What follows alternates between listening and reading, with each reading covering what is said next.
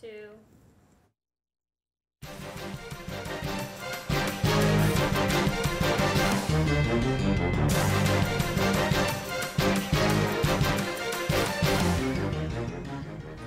Welcome to the MCTV Biweekly Marist News Update. I'm Jen Keen. And I'm Bonnie Orr. We've got a lot in store for you this week, so let's jump right into our first story.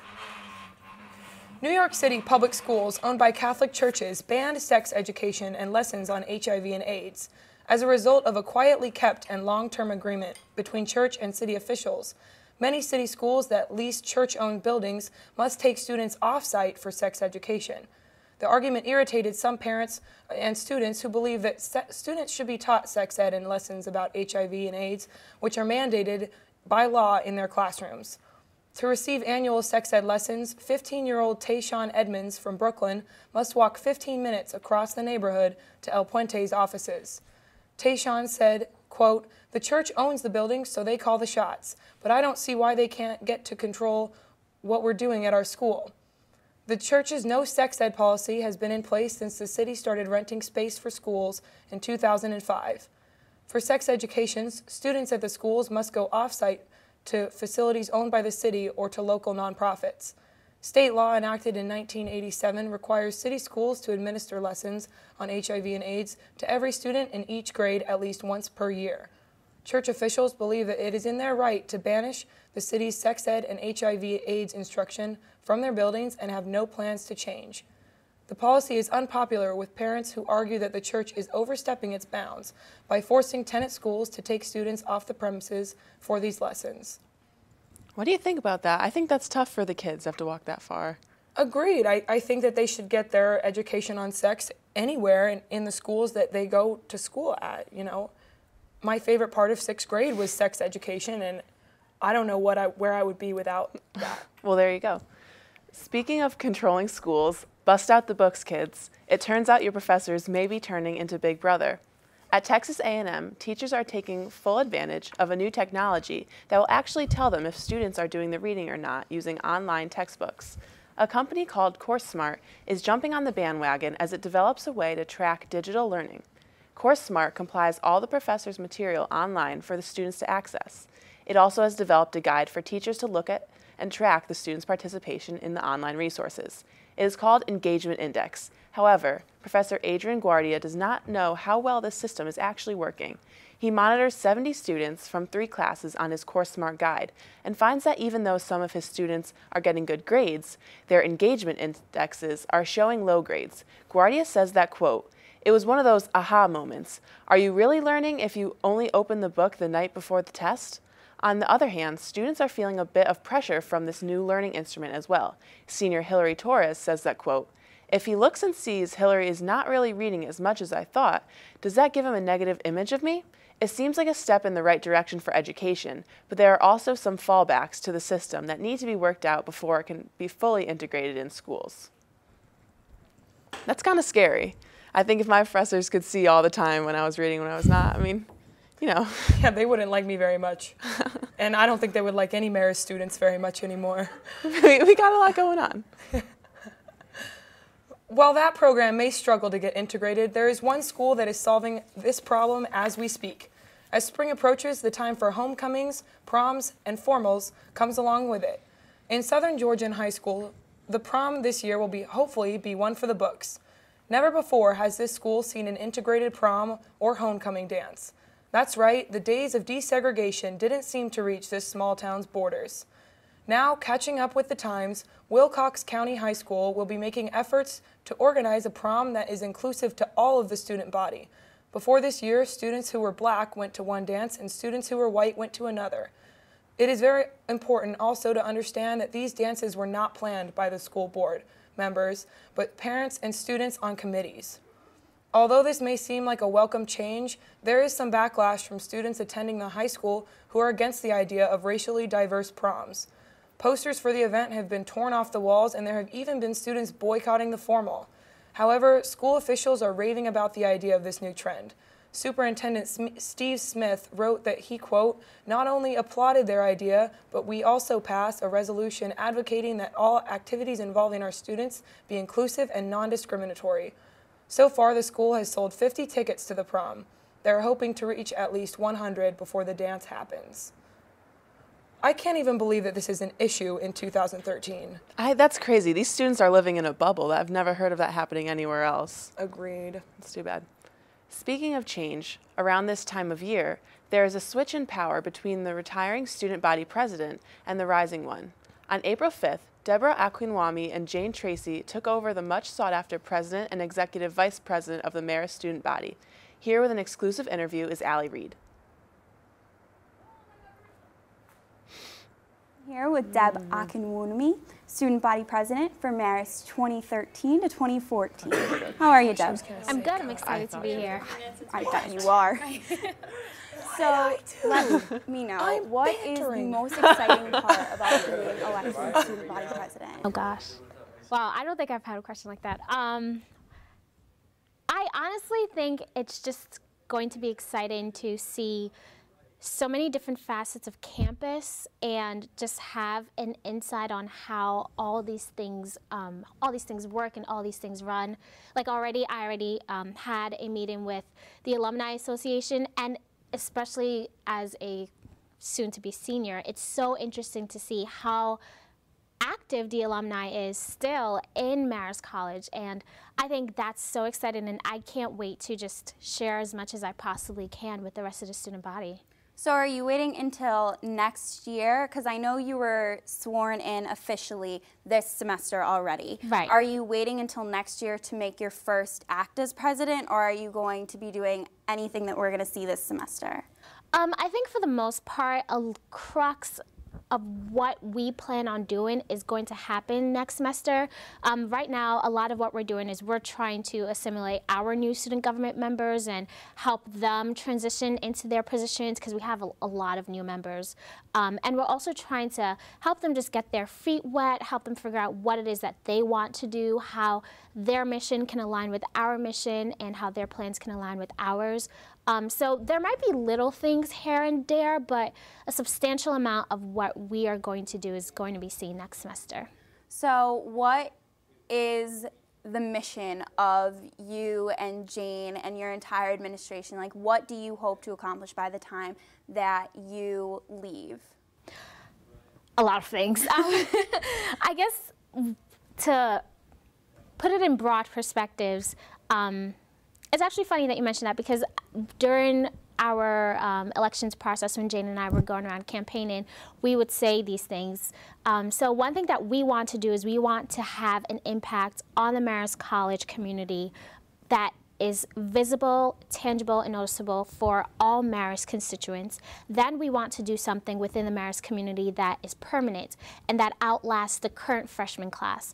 And lastly, we want to find a way to affect and impact the global community with the Marist name. So hopefully by the end of our term, in one may, um, in a lot of different ways, we'll have accomplished those three different things. So, when you first came to Marist and you were looking over the Hudson, you were like, I want to be a student here. You weren't even accepted yet. Yeah. Did you have any idea that you would be running the school by the time you were a senior? I don't think so. I don't. I don't know if anyone would. Um, I know I definitely wanted to be a part of student government because I did it in high school.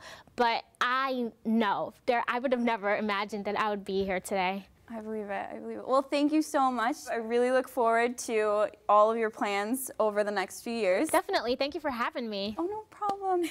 Back to you guys. Looking at the rise and fall of others, here's Brittany Jelinski with Who's Hot in Hollywood. Thanks, Bonnie. Well, we have a lot we have a lot to talk about today, so let's jump right in. Chelsea Handler is causing some controversy due to her appearance on the Letterman show when she joked saying that Letterman was a quote small man. It turns out that the two were talking about their careers on late night TV, and Letterman said that he would be lucky for any job, not expecting that Handler would insult him. Handler tried to recover, saying, quote, You're not particularly large. You're very dainty for a man, and I mean that in the nicest way possible. Personally, I think Chelsea Handler is hilarious, and people shouldn't take her insults so literally. However, along with Letterman, she has offended stars like Conan O'Brien, Kim Kardashian, and Angelina Jolie. In more shocking news, the reality star from the MTV show Buck Wild, Shain Gandee, was found dead earlier last week. The 21 year old was reported missing, and police found Gandee, his uncle, and a friend of the family Monday morning in Sissonville, West Virginia. Along with the death of the show's most beloved character, one of the other young stars, Salwa Amin, is in jail for having failed a drug test that broke her probation from a previous arrest in February. In more unfortunate news, film critic Robert Ebert lost his battle with cancer last week. The acclaimed critic had been suffering from various cancers of the thyroid and salivary glands for the past decade. Ebert's family and friends said that he had a very peaceful death, and we can all definitely say that Roger Ebert will hold a special place in cinema for a long time. Time to talk about Roger Ebert's favorite topics movies that are out in theaters. The horror film Evil Dead has swept the box office completely over any other competition. Evil Dead is being considered a rare horror remake because it remained true to the original Evil Dead made in 1981 while taking on a new interpretation. If you're thinking that this is just some B rated horror movie with bad actors, a poor plot, think again. Evil Dead is shocking audiences everywhere with its cinematography, intense sequences, and character drama. And the movie I'm most excited to see is 42. The movie tells the true story of Jackie Robinson when he made history by playing for the Brooklyn Dodgers and breaking the color barrier in baseball. The film star Chadwick Boseman had to prepare for the role watching Jackie Robinson tapes and working with different baseball coaches to completely emulate Robinson's style. Boseman commented on how happy and honored he is to take on such a role, and he is excited for audiences everywhere to learn about the moving and challenging strides that Robinson took to become an American legend. Well, that's all we have time for for this week. I'm Brittany Jelinski, keeping you in the know. With more from the art and film world, on Friday, April 5th, Marist College Club of Theater Arts, or MICTA, debuted Treasure Island, this semester's play for children's theater. At the start of the play, audiences are clued into a secret word that, whenever they hear a character say it, they whoop, holler, and cheer towards the stage. The play became interactive as the characters of Treasure Island got surprised when they were interrupted each time. The adventure begins when a dreadful pirate captain, Billy Bones, who has a bit of a drinking problem, gives his treasure map to Jim Hawkins and his family before he dies. Jim and his family, with the help of a few other characters, follow the map across the sea while running from pirates. The trouble that finds them makes the play all the more fun. The over the top characters, pirate jokes, clever set design, and use of projection make Treasure Island a high valued production and a must see for both old and new theater lovers. MICTA's production has two full casts to help manage the number of showings that Children's Theater puts on each year. Some of the leads were Dan Smith as Jim, Rob Peter Paul as Captain Bones, Michelle Scar as Auntie Nan, Marissa Russo as Dr. Livesey, Alyssa Bianca as Belle Gunn, and many, many more. This year's Children's Theater production follows last year's hit production of Thumbelina. This week, the Marist campus will see buses full of elementary schoolers as they flood the campus for their chance to see Treasure Island. Don't miss your chance to learn Treasure Island's secret word and take part in Marist College Club of Theater Arts' last play in the Nellie Gleddy of the Year. What a fun idea. I love that. I didn't get to see it. I was off campus this weekend, but that sounded really fun. That sounds great. I just hope no students take it, things out of their lunch and throw them on stage. I would get carried away. well, moving to our sports report, here's Chris Calligari. Thanks, Bonnie. Here's what's going on in sports this week. This past weekend featured the men's Final Four in Atlanta, Georgia, with Louisville squaring off against underdog Wichita State and Syracuse battling Michigan with Player of the Year Trey Burke. This was Michigan's first trip to the Final Four in 20 years, since the days of the ever so popular Fab Five. As many of you probably heard, Louisville's guard Kevin Ware sustained a, a gruesome injury during the team's game against Duke in the Elite Eight. The team says they can overcome this injury and want to win it all for their embattled teammate. Louisville defeated Wichita State 72 to 68, and Michigan defeated Syracuse 61 to 56. Both schools have not won a national championship in over 20 years. But on Monday, Louisville succeeded in its pursuit of their first national championship since 1989. By winning, Louisville head coach Rick Pitino became the first coach in NCAA basketball history to win two national championships with two completely different schools. In other news, the college basketball world was shocked was taken by storm the past week after Rutgers head men's basketball coach Mike Rice was exposed on ESPN's Outside the Lines for verbally and physically abusing his players with a series, a series of tapes were released to ESPN that contain clips of practices over a three-year, over a course of three years, where, Co- where Coach Rice hurled basketballs at his players' heads, used homophobic slurs, slurs, and displayed dangerous levels of abuse. Rice and his assistant coach, Jimmy Martelli, are no longer employed by the school. Rice was fired the day after Rucker, the day after the tapes aired on ESPN, and Martelli resigned. In the wake of Rice's firing, athletic director Tim Pernetti decided to resign due to his lack of action over a year ago after he uh, found out about the tapes. Faculty and New Jersey congressmen were calling for him to be fired as well. This fallout came after Pernetti was able to get Rutgers an invite into the Big Ten Conference, something many thought would be impossible for Rutgers to achieve. The boys of summer have finally hit the field as baseball season is finally upon us. The Yankees have gotten off to a slow start after losing two of three games to the Red Sox and Tigers.